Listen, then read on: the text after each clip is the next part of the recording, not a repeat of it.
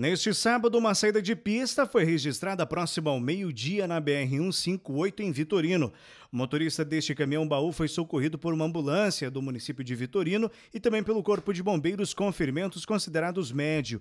A vítima foi encaminhada à casa hospitalar. Polícia Militar esteve no local, registrou a ocorrência e controlou o trânsito.